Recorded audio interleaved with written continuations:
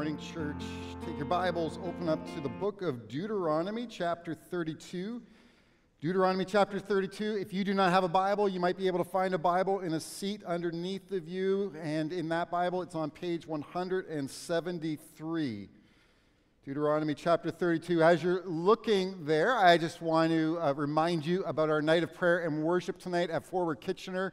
Uh, I hope to see many of you there tonight. I can't think of a better place for us to gather as a church to pray about uh, what it means to be a multiplying church than to go to the place that is part of our history as a church and being a multiplying church. That God used Forward Cambridge to uh, start and multiply out Forward Kitchener a number of years ago. And so we want to gather there as one church body from all of our different sites to pray together and to worship together as we seek God's will uh, for us as a church in the days ahead.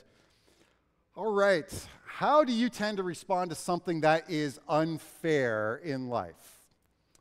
Now, I know that there seems to be a lot of things that are unfair in life, and sometimes it's hard to really keep up with it. So, for most of us, uh, our, our general response is we will kind of ignore it unless, unless something unfair happens to us.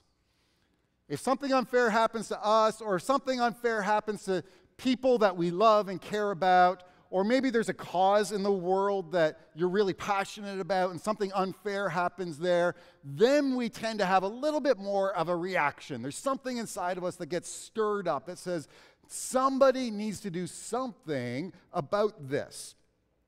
A couple of months ago, I was shockingly attending a Blue Jays game. And, uh, and while we were in Toronto at the Jays game, after the game was over, uh, I was at a stoplight getting ready to turn left to jump onto the Gardiner Expressway. And uh, I had an advance green to turn left to get onto the Gardiner. And so I turned left to get onto the Gardiner. I was there with my wife and some of my family. And just as I turned left to get onto the Gardiner, there's a person on the other side of the stoplight who turns right and cuts right in front of me. I slam on my brake in the middle of the intersection, and there was something, a dark side of me that started to come out.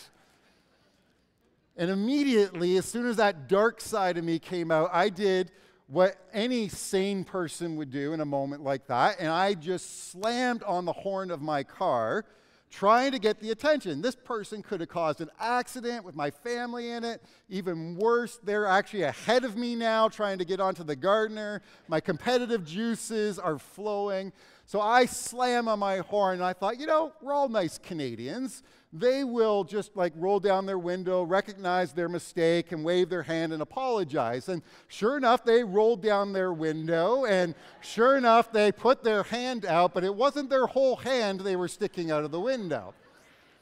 Well, that got me going even a little bit more, and so I honked on my horn again, and they waved at me again for some reason. And back and forth we went a few times over, and my wife is now getting really agitated with me because of what I'm doing in that moment. And, I, and I'm sitting there, I'm thinking, but there's injustice that's been committed against me, and I need to do this. And she was worried we were going to get into a road rage incident. I was more thinking, man, I hope this person isn't from our church.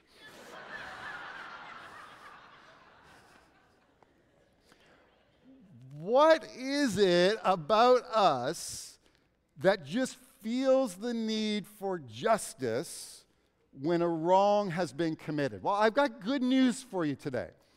I think that we feel the need for justice because we are image bearers of a God who loves justice. The Bible tells us in Genesis chapter 1 verse 27 that you are made in the image of God. And then in Isaiah chapter 61, verse 8, we read these words I, the Lord, love justice. I hate robbery and injustice. That whenever there's something in, inside of you that rises up and says, that's just wrong, somebody needs to do something about it.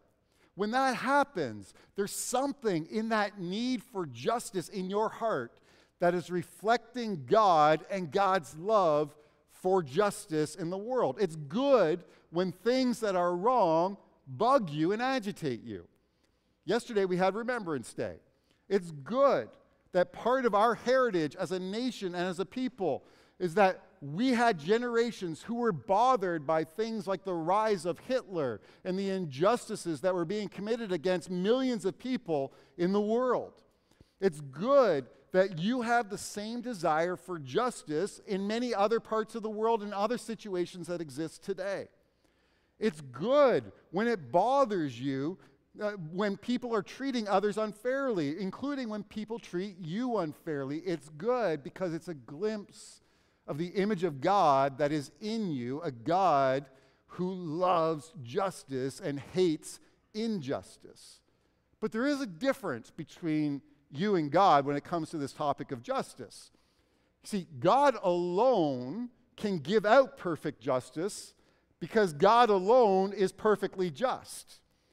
In Deuteronomy chapter 32, uh, I actually want to start reading at the very end of chapter 31, the last verse, verse 30. It says, Then Moses spoke the words of this song until they were finished in the ears of all the assembly of Israel. Give ear, O heavens, and I will speak and let the earth hear the words of my mouth. May my teaching drop as the rain, my speech distill as the dew, like gentle rain upon the tender grass, and like showers upon the herb. For I will proclaim the name of the Lord and ascribe greatness to our God.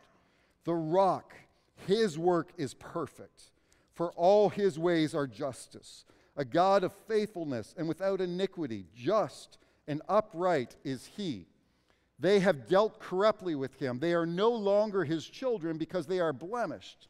They are a crooked and twisted generation. Do you thus repay the Lord, you foolish and senseless people? Is not he your father who created you, who made you, and established you? For God, justice is not just something he does, justice is who he is. In Deuteronomy 32, the verses we just read, it's called the Song of Moses. It's Moses' farewell address to the nation and the people of Israel. And it's called the Song of Moses because it's written in poetry, it's written in the style of a song.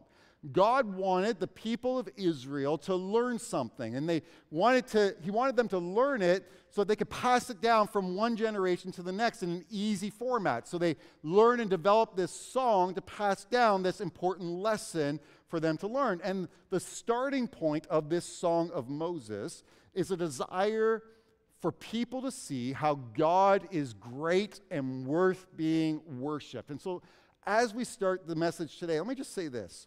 Going through this entire series on attributes of God and who God is, we don't want you just to have a bunch of more facts about who God is. It, like, if you, at the end of the series, walk around and think to yourself, well, I've got some more good information about God, then something, there's a disconnect somewhere here in this series.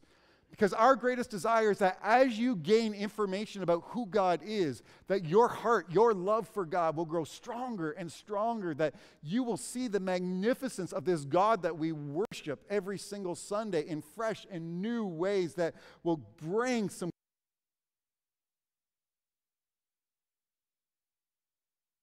When you sing songs about God, you're not just going through the motions, but you are at a heart level connecting with how good He is.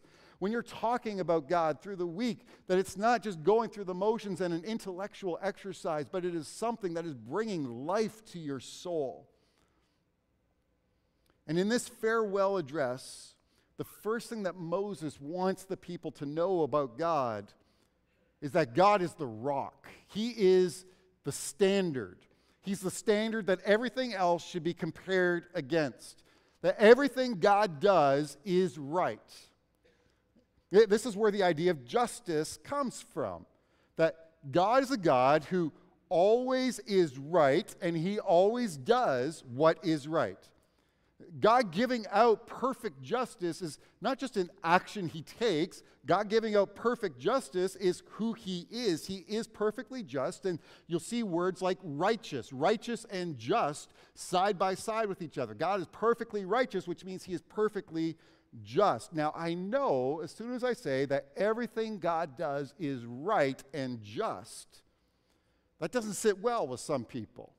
I know that there are people who will struggle with some questions like, like if God's perfectly just, then why is it that some people seem to be able to get away with some terrible things. Write down this passage of scripture. We're not going to open to it, but write this down if you're taking notes. Colossians chapter 3 verse 25. The Bible says this, "For the wrongdoer will be paid back for the wrong he has done, and there is no partiality with God." See, as humans, our tendency is to forget that God is just. We, we love the idea that God is loving. We love the idea that God is kind and merciful and good and faithful and all those positive things. But we often and easily forget that God is just. And as a matter of fact, if you were to read all of Deuteronomy 32, the entire point of the whole chapter and the entire point of the Song of Moses is to remind people that God is just. Because when people forget that God is just, people live like they can get away with anything they want to get away with. David Strain described it like this He said, When we confess that God is infinitely, eternally, and unchangeably just, we're saying that God never looks the other way. God never winks at sin. He never excuses wickedness. So, what looks like people getting away with injustice is actually, in our time, in our reality, a temporary situation. With God, justice will always come.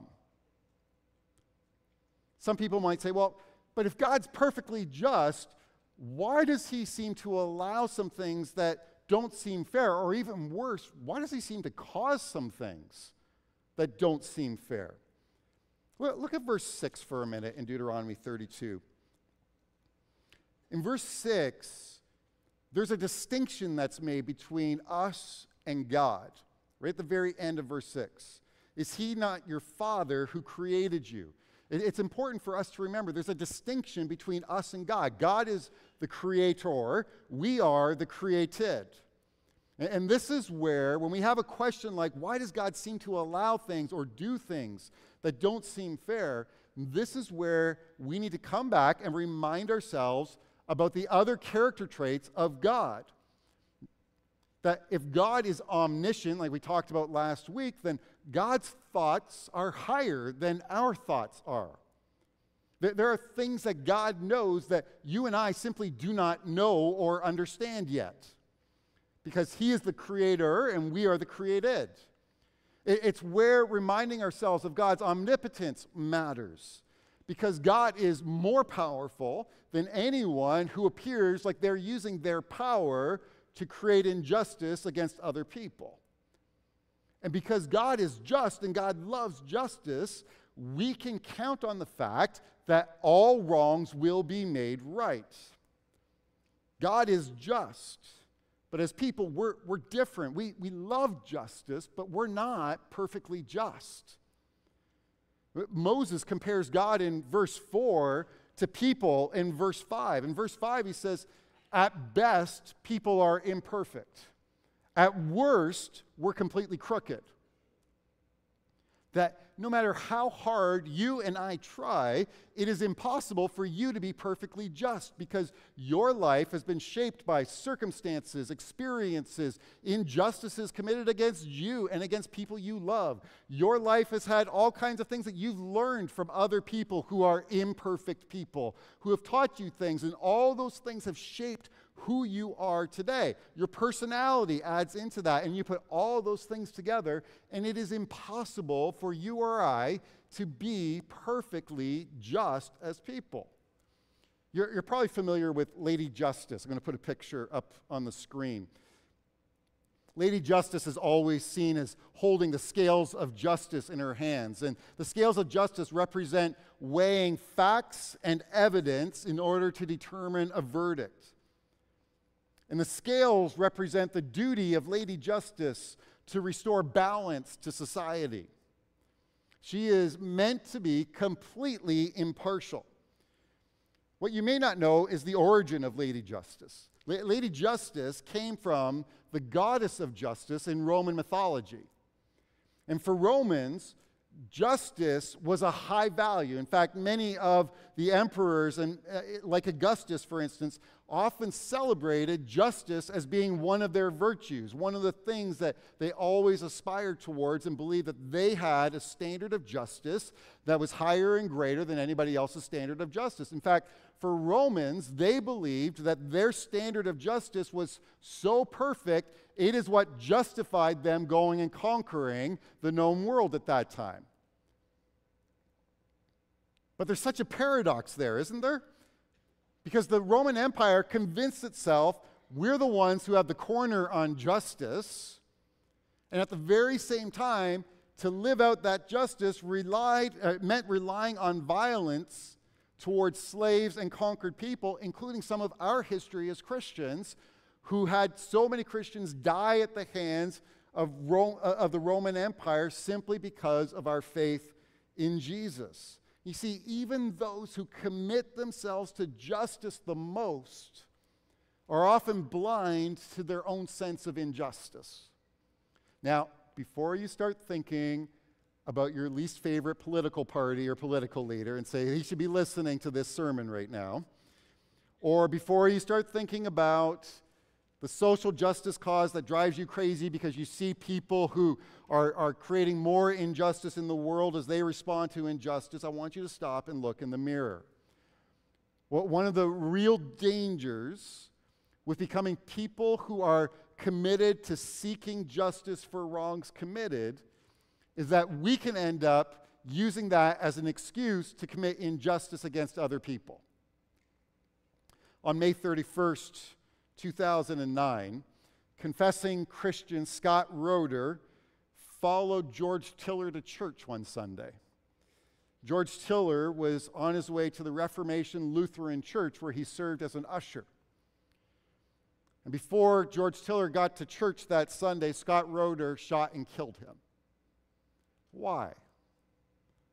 Because George Tiller was an abortion doctor. And Scott Roeder convinced himself that he was carrying out justice for God and for these children by killing this abortion doctor. Now, I, I, know that that seems like an extreme example, but I also know that we all have our own blind spots. One person's sin against you does not give you permission to sin against someone else. Getting cut off in traffic does not give you permission for road rage. But this kind of thing happens all the time in our world. One injustice takes place, and we push back and we create another injustice. And the cycle goes round and around and around. And some of you are caught in that cycle yourselves. Some of you, even in your own families, you're caught in that cycle. Think about the person that you have conflict with. You have conflict with that person, they do something that hurts you and wounds you deeply. And so your response is, How do I get even with that person? How, how, do I give them the silent treatment? How do I talk about them to others in such a way that I'm going to put them down in front of other people? Now, you might be feeling to yourself, but, but I'm justified in my actions. I'm justified in my response, and they're the ones who created the injustice. But like my mom used to say to me, she said, Kirk, two wrongs don't make a right. And the entire song of Moses is a warning to all of us. Always remember, God is just, and God will carry out justice. You cannot get away with any sin that you commit against another person or against God. And if the truth be told, all of us have done something unjust to someone, and we deserve justice to be carried out against us. You see, every person likes the idea of justice until it needs to be carried out against you. Then you want mercy. If you've ever been pulled over for a speeding ticket, then you know that moment where, yeah, I'm guilty, they got me. And you know that as that police officer is walking up to the car with your speeding ticket in hand, you're sitting there thinking to yourself, man, I hope they don't find me or give me as many points as I deserve. You know instantly that there's something inside you that just wants a sense of mercy from the police officer. And all of us know that none of us is perfect. Like, like, I think we can all settle on that, right? Like there's not one person who's perfect. But the Bible tells us more than that. To not be perfect means that all have sinned. And the Bible says the wages, the penalty, the price for your sin is death. That justice for your sin and my sin is the death penalty, complete and final judgment from God. That's what God has determined is just. Now, you don't have to like what a law says, but it doesn't change what the law says. And because God is just, God must follow through on what he has said. And God has weighed the evidence, and you and I have been found guilty before a holy God. And when you know you're guilty and you know what the consequences are, there kind of tends to be two responses. The first response is, how do I justify my actions? How do I kind of squeeze my way out of this? Or there's the other response where you can just hope for mercy. And the good news is this God is just, but He is also merciful. And this is where Jesus Christ, the Son of God, enters into the scene of our lives. Listen to what it says in 1 Peter chapter 3, verse 18. For Christ also suffered once for sins, the righteous for the unrighteous, that he might bring us to God, being put to death in the flesh, but made alive in the spirit. Another way of putting it, Christ suffered once for sins, the just for the unjust. This incredible, glorious reality that though we deserve justice, Jesus goes to the cross and takes the penalty on your behalf that God is perfectly just, and so justice must be carried out, but God, in His mercy, decides to carry it out Himself so that you don't have to. The, the great reality that faces every human being is this justice will be carried out. The only question is whether or not God's justice will be carried out against you or whether or not you will trust what Jesus has done on your behalf and accept the fact that justice has been uh, carried out by Him for you.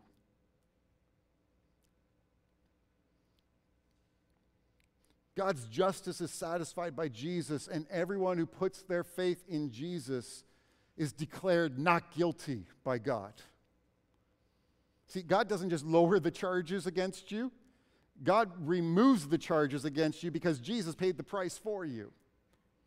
God declares you to be not guilty and he declares you to be righteous. And in the Bible, that's called justification. And if you have never put your faith in Jesus, if you are not a follower and believer of Jesus today, then I am simply inviting you to trust Jesus with your life. Literally, with your life. To turn to Him, to understand that God is just, but He's merciful and He's calling you and He wants to forgive you of the injustice you've committed. And this is where many of us like to leave this story because it's a feel good moment, because we've received God's mercy in our lives. But God's mercy in your life is never meant to end with just saying, Oh man, I'm so glad Jesus loves me. God's mercy in your life is always meant to stir you up and move you towards good works. That's what Ephesians 2:10 teaches us. You are an ambassador on this earth for a God who loves justice. And because God is just, you should seek justice for others. You know, there's a lot of things that people think about when it comes to how do you honor God with your life. You'll think about, I sing songs and I pray and I read my Bible and I'm nice to people. And you've got all kinds of things that you think about when it comes to honoring God with your life. But one of the themes in the Bible of what it looks like to honor God with your life is to be someone who is seeking justice for others. In Isaiah chapter 1, verse 17, God says this Learn to do good, seek justice, correct oppression, bring justice to the fatherless, plead the widow's cause, somewhere along the way, justice became a thing that we didn't really talk about in evangelical churches. Growing up as a kid, for me, in, in an evangelical church, I, I was always told, ah, those churches that are talking about a social gospel and social justice, they've, they're left leaning and, and, and they're not really preaching the real gospel. And, today, even in evangelical churches, and maybe even in some of your conversations, you'll look at different justice issues and you'll use words like, ah, those people, they're all just woke. And most of us don't even know what the word woke means when we say it. It's just a buzzword that we've picked up on. And you can determine and you can decide to put whatever labels you want to put on things. But the one thing I can tell you with absolute certainty is that the label God puts on justice is that it's a command from Him to His people. We are called by God to be His ambassadors here on earth, to seek justice for others. So, when we seek justice in the Bible, what does that even mean? What does that look like? So, let me give you a few different meanings of justice. It means to treat people equitably. It, means it doesn't matter the color of your skin or your intelligence or your abilities or the level of your income or whether you are from Galt, Preston, or Hespeler. We treat everyone equitably. Justice means, uh, uh, there's another word that can be translated as justice, and it's this righteous, that it refers to a life of right relationships with each other that we conduct all of our relationships in family and in society with a sense of fairness and generosity and equity towards each other. If you are in an abusive relationship, you are experiencing injustice, leave, go, get someone to help you. If you are abusing someone, you are being unjust towards that person. If you see someone being treated poorly at all by someone, justice stands up and seeks to make things right for them. Justice biblically means giving people exactly what they are due, whether that's care or protection or, yes, even punishment. Justice means give people what they are due. When someone sins or breaks the rules, justice says there should be a penalty. When someone's fearful for their life or their safety, justice says protect them. And the Bible most often refers to the need to seek justice for people who are experiencing oppression, the fatherless, the poor, the widows, those who are hungry. In fact, when Jesus is seen as getting angry in the Gospels, most often, it was primarily over justice issues because people were using power to oppress others, either financially or in terms of creating extra layers of religious rules. And one of the things I love about our church, and I'm so grateful for about our church, is the commitment of so many of you to seek justice for others.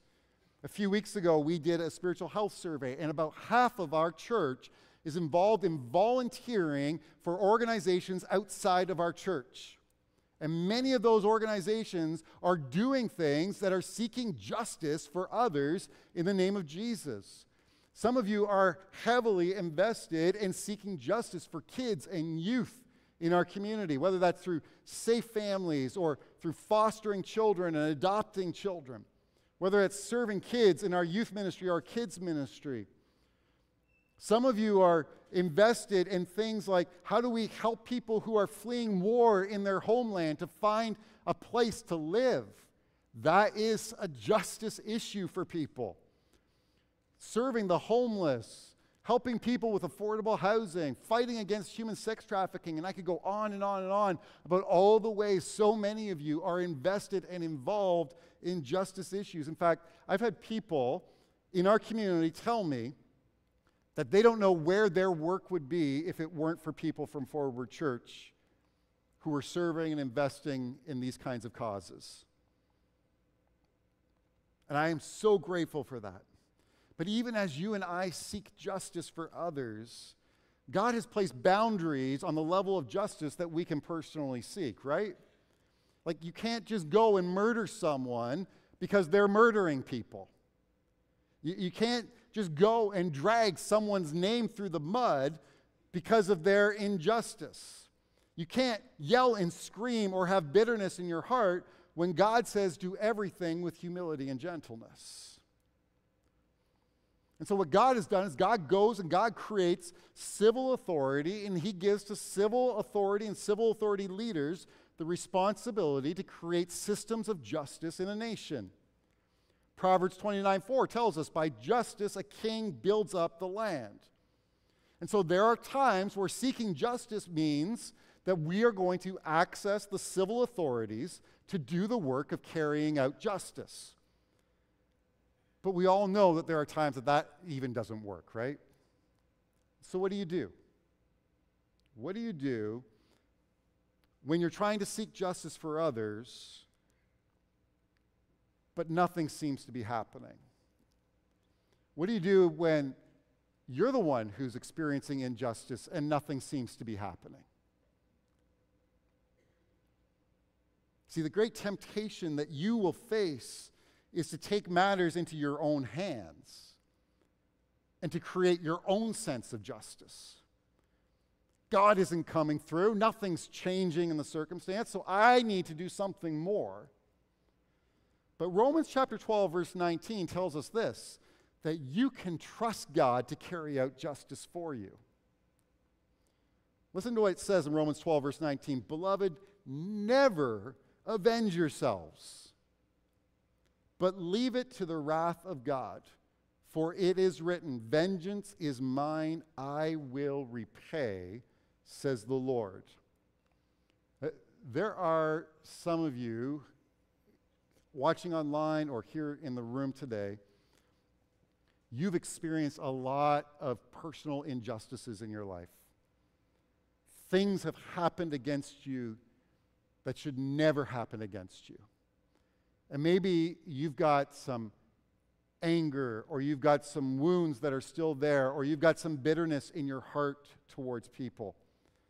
And I want you to know this that the God of the universe who knows everything, he sees your pain, he sees your hurt.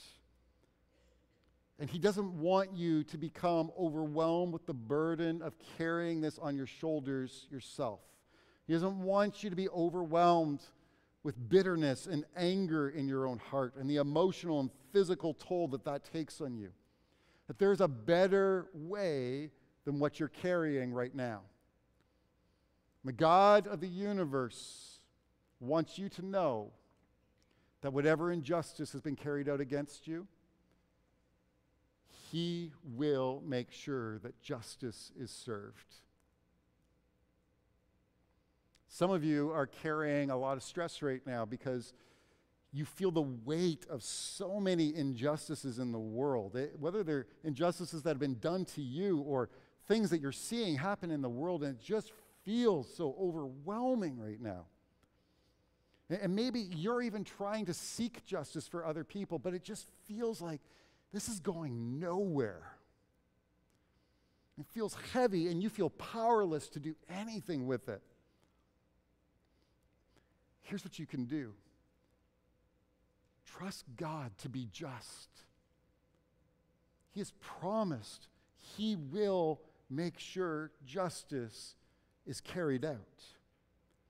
If God is just, if God hates injustice, if God promises that the wrongdoer will be paid back, you and I, we can save ourselves a ton of emotional and relational pain by trusting God to be and do what He says He's going to do. Because God's version of justice is far greater than any version of justice you or I could ever come up with. You might go, but Kirk, like, that sounds nice, but how do I know that God's actually going to carry out justice? Because there's this part of me that's still not really sure. I want you to turn to the very last book of the Bible, Revelation chapter 15. If you have one of the Bibles in your seats, uh, it's on page 1036.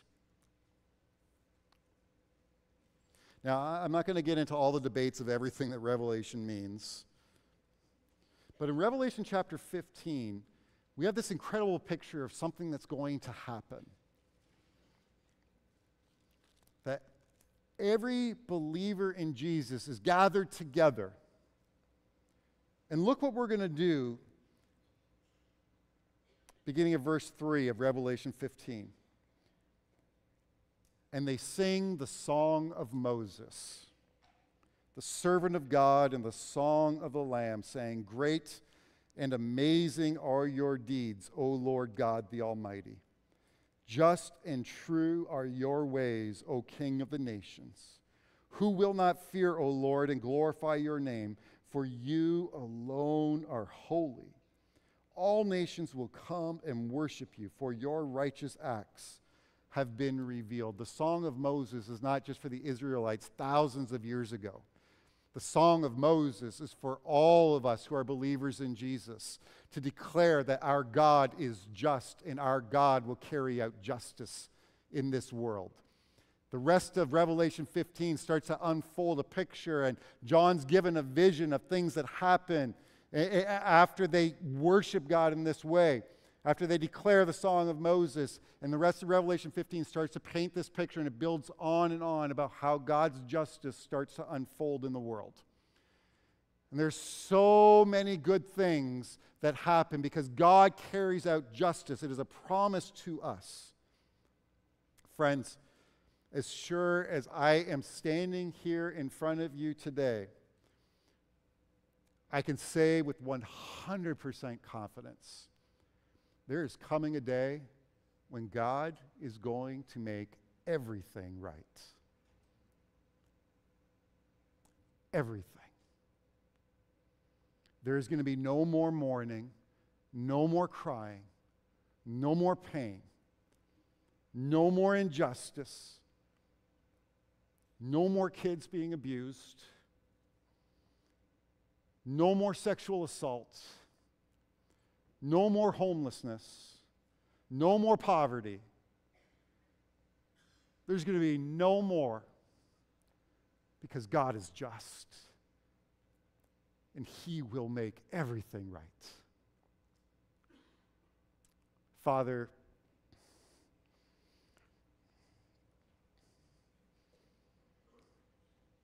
help us today to see the beauty and the majesty of who you are as a just God. God, I pray for those of us who are hurting today because we've had injustice carried out against us.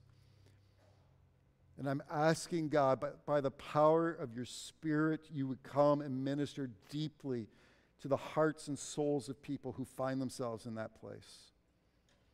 That your Spirit would speak hope into their sense of hopelessness right now. Father, I pray for us as your church that you would help us to love justice as much as you do. That you would show us what it looks like to be people who seek justice in this world. In the name of Jesus.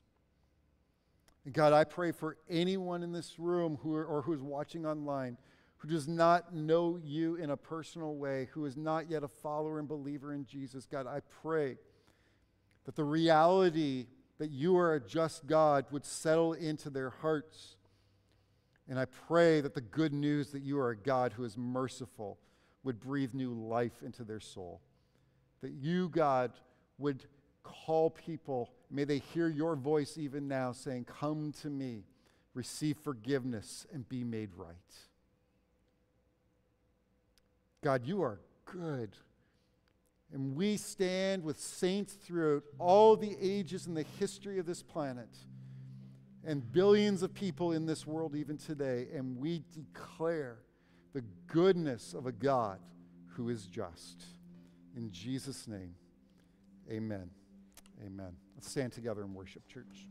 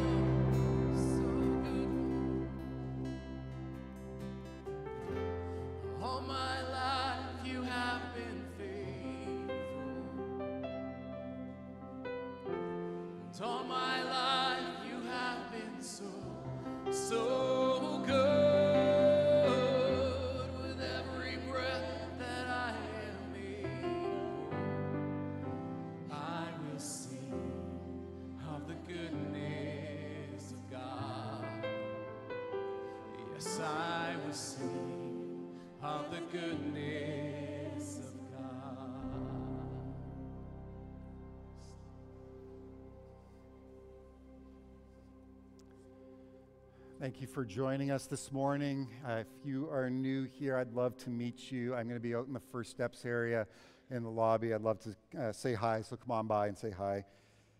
Church, as we go into our week, let me remind you of the God that you serve.